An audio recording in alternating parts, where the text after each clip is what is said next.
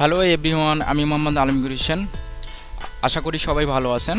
তো আমরা গত পর্বে দেখছিলাম যে আমরা কীভাবে প্রাইভেট নেটওয়ার্ক তৈরি করব এবং প্রাইভেট নেটওয়ার্ক তৈরি করে ওই প্রাইভেট নেটওয়ার্কের আন্ডারে যে আদার্স নোটগুলো আছে, সেই নোটসগুলো আমরা কীভাবে তৈরি করব এই সম্পর্কে আমরা আলোচনা করেছিলাম। তো আজকের পর্বে আমরা দেখব যে আমরা কীভাবে মেটামাক্সটা ব্যবহার করতে পারি। আসলে মেটামাক্সটা কি একটু আলোচনা করে নিই। মেটামাক্সটা হচ্ছে আসলে আমরা যখন ইথার ইথার নিয়ে কাজ করব, ইথারিয়াম আদান প্রদান করব, এক অ্যাকাউন্ট থেকে অন্য অ্যাকাউন্টে ট্রান্সফার করব, সেই ক্ষেত্রে আমাদের মেটামাক্স প্রয়োজন হবে। তো আজকে আমরা দেখা, দেখব যে আমরা কীভাবে মেটামাক্সের সাথে মিসড ওয়ালেট বা ইথারিয়াম ওয়ালেট আমরা ব্যবহার করতেছি, সেই ইথারিয়াম ওয়ালেটের অ্যাকাউন্টটা আমি মেটামাক্সটা কীভাবে ইম্পোর্ট করব এই সম্পর্কে আমি আলোচনা করব।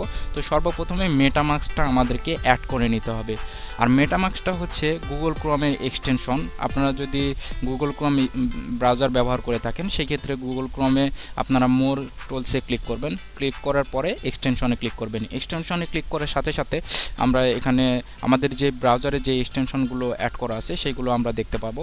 এরপরে আমরা যদি অ্যাড করতে চাই, তাহলে গেট মোর এক্সটেনশনে ক্লিক করব।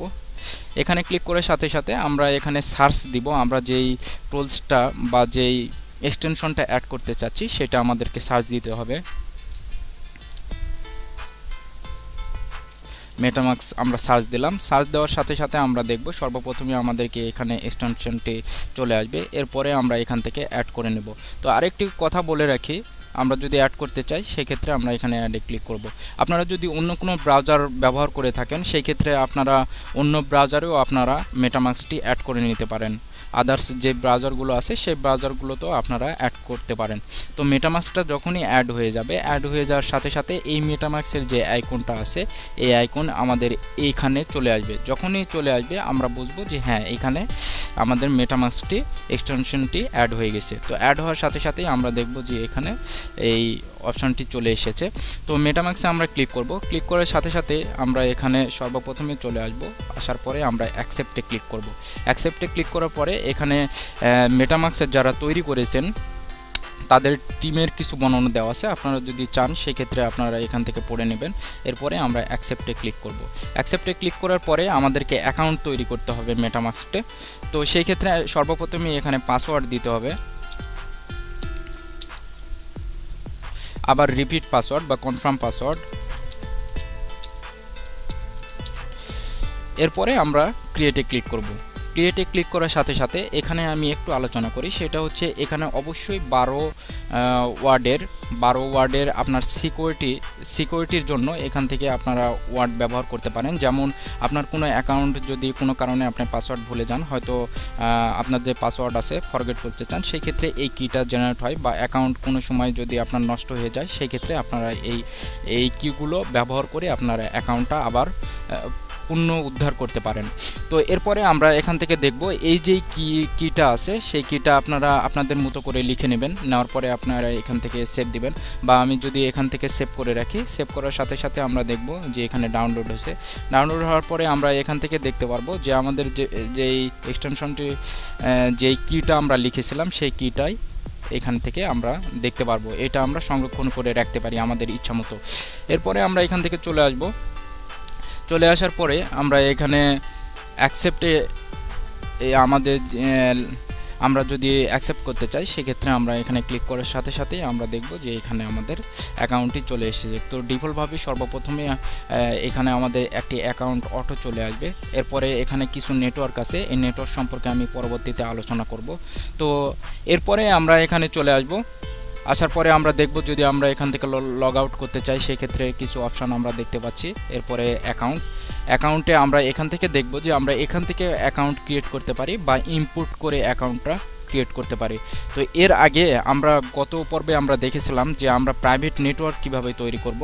তো প্রাইভেট নেটওয়ার্কের যেই কমান্ডটা আপনার, আপনাদেরকে আমি দেখাইছিলাম। সেম কমান্ডটা আমি গেতে যে রান করাবো। রান করানোর সাথে সাথে আমরা দেখব রান করাবো। রান করানোর পরে আমরা যেই কমান্ডটি রান করাবো রান করার সাথে সাথে আমাদের মিসড যে ওয়ালেট আমরা ব্যবহার করতেছি, সেই ওয়ালেটটা আমরা প্রাইভেট নেটওয়ার্ক তৈরি করব।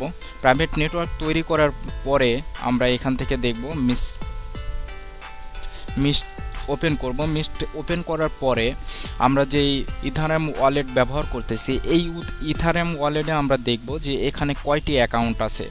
আর আরেকটি কথা, সেটি হচ্ছে ইথারেম ওয়ালেট যে আমরা ব্যবহার করি, ব্যবহার যখন আমরা করি, করার পরে আমরা যখন অ্যাকাউন্ট তৈরি করি অ্যাকাউন্টের নিজস্ব একটা ম্যাক বা একটা সিকিউরিটি বা একটা সল্ট তৈরি করে, ওই সল্ট দিয়ে আমরা ইনপুট করে আমরা মেটামাক্সে অ্যাকাউন্ট তৈরি করতে পারি। তো এরপরে আমরা লঞ্চে ক্লিক করব। লঞ্চে ক্লিক করার সাথে সাথে আমরা দেখতে পাচ্ছি যে আমরা প্রাইভেট নেটওয়ার্কে চলে এসেছি। তো লঞ্চে ক্লিক করার সাথে সাথে আমরা এখানে দেখব যে আমাদের যে কয়টি অ্যাকাউন্ট আছে, সেই অ্যাকাউন্টগুলো আমরা এখান থেকে ভিউ করতে পারব বা দেখতে পারব। যে আমাদের কয়টি অ্যাকাউন্ট এখানে ক্রিয়েট হয়েছে।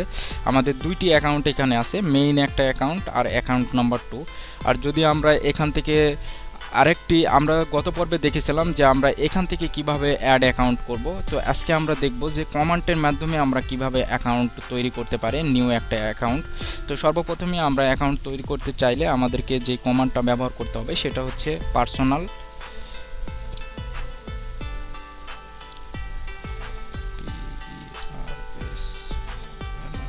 personal dot new account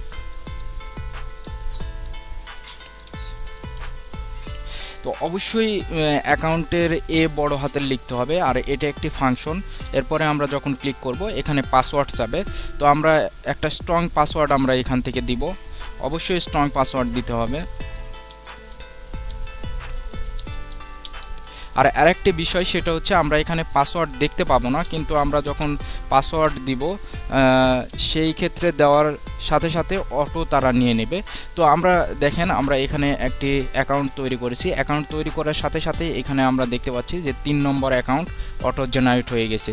সেই ক্ষেত্রে এই অ্যাকাউন্ট জেনারেট হওয়ার সাথে সাথে প্রত্যেকটার নিজস্ব একটা কি আছে। সেই কিটা ম্যাক আছে ম্যাক বা কি বলেন।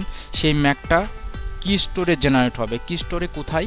আমরা যে নেটওয়ার্কের যেই ডাটাবেস তৈরি করেছিলাম বা ব্লক চেন ডাটা তৈরি করেছিলাম, আপনারা আপনাদের যেখানে জেনেসিস ফাইল ইনিশিয়ালাইজ করেছিলেন, সেই ব্লক চেনের মধ্যে একটি ফোল্ডার থাকবে, সেটা হচ্ছে কি স্টোর কি স্টোরে যখন আপনি ক্লিক করবেন ক্লিক করার সাথে সাথে আপনারা দেখবেন যে এখানে আমাদের তিনটি অ্যাকাউন্ট আছে। এই ক্ষেত্রে তিনটি অ্যাকাউন্টের আমাদের ইনফরমেশনটা এখানে আছে। আমরা যদি চারটি অ্যাকাউন্ট তৈরি করতাম সেই ক্ষেত্রে এখানে চারটি যেই সিকিউরিটি সল্ট আছে, সেগুলো তৈরি হয়ে যেত তো এখান থেকে আমরা দেখব যে আমরা এই ফাইলটা ওপেন করব। যেহেতু আমরা সর্ব প্রথম আমরা একটা অ্যাকাউন্ট তৈরি করেছিলাম, এরপরে দ্বিতীয় আরেকটি অ্যাকাউন্ট তৈরি করেছিলাম, তৃতীয় আমি আর একটি অ্যাকাউন্ট তৈরি করছি। আমরা কত তারিখে, কত ডেটে কত টাইমে আমরা অ্যাকাউন্ট তৈরি করছি সেই সম্পর্কে আমরা এখান থেকে দেখতে পারব। এরপরে আমরা চলে আসব এখানে আসার সাথে সাথে আমরা যখন এই ফাইলটা ওপেন করব ওপেন করার সাথে সাথে আমরা দেখব এই কিছু ইনফরমেশান দেওয়া থাকবে, ওই অ্যাকাউন্টের কিছু ইনফরমেশান যেমন এখানে যদি অ্যাড্রেস বলি, যে এই অ্যাড্রেসটা অ্যাড্রেসটা হচ্ছে ফোর থ্রি তো আমরা যদি ইথানেম ওয়ালেটে চলে আসি, ইথানেম ওয়ালেটে আসে যদি আমরা এখান থেকে দেখি, এই অ্যাকাউন্টের কিন্তু ফোর থ্রি তার মানে এই যেই ডিফল্ট এই যে অ্যাকাউন্টের একটি হ্যাশ আছে, এই হ্যাশটি কিন্তু এখান থেকে এই হ্যাশটি তো এখান থেকে আমরা ডিপ্লোভায় এই ফাইলটা আমরা কি স্টোরেজ জেনারেট হবে, এখান থেকে আমরা ইনফরমেশান দেখে নিতে পারি। এরপরে আমরা যে আমাদের যেই কাঙ্ক্ষিত ফলাফল যে আমরা ইম্পোর্ট করতে চাই, যদি আমরা অ্যাকাউন্টে মেটামাক্সটা ইম্পোর্ট করতে চাই, সেই ক্ষেত্রে এমএসি ম্যাক ম্যাক যেই হ্যাশ আছে, এই হ্যাশটা আমাদেরকে নিতে হবে। আমরা এখান থেকে কপি করে নিব। কপি করে নেওয়ার পরে আমরা গুগল ক্রমে চলে আসব। আসার পরে আমরা মেটামাক্সে আসব। মেটামাক্সে আসার পরে আমরা এখান থেকে ওই অ্যাকাউন্টটি আমরা এখানে ইম্পোর্ট করব। তো ইম্পোর্ট করব কীভাবে? সর্বপ্রথমে আমরা এখানে ক্লিক করব। ক্লিক করার সাথে সাথে এখানে আমরা ক্লিক করব। ক্লিক করার সাথে সাথে আমরা দেখব যে ইম্পোর্ট অ্যাকাউন্ট। তো ইম্পোর্ট অ্যাকাউন্ট করার সাথে সাথে আমরা এখানে লক্ষ্য করব যে এখানে দুইটি অপশান আছে। একটা জেসন ফাইল। আমরা যদি ওই ফাইলটাও ইম্পোর্ট করি, আমরা যদি এখানে সিলেক্ট করি জেসন ফাইল, সেই ক্ষেত্রে আমাদেরকে ওই ফাইলটা এখান থেকে দিয়ে দিতে হবে। এরপরে যদি ওই ফাইলটা আমাদেরকে সিলেক্ট করে দিতে হবে। আর যদি আমরা শুধু প্রাইভেট কি দ্বারা আমরা অ্যাকাউন্টটি ক্রিয়েট করতে চাই, সেই ক্ষেত্রে ওই অ্যাকাউন্টের যে ম্যাক অ্যাড্রেস আছে, সেই ম্যাক অ্যাড্রেসটা আমরা এখান থেকে ইম্পোর্ট করে দেব। ইম্পোর্ট করার সাথে সাথে আমরা দেখব যে এই অ্যাকাউন্টটা আমাদেরকে তৈরি হয়ে গেছে। তো এখান থেকে আমাদের ইচ্ছা মতো আমরা অ্যাকাউন্টের নাম আমরা চেঞ্জ করে নিতে পারি। আমরা অ্যাকাউন্টের নাম চেঞ্জ করে নিতে পারি।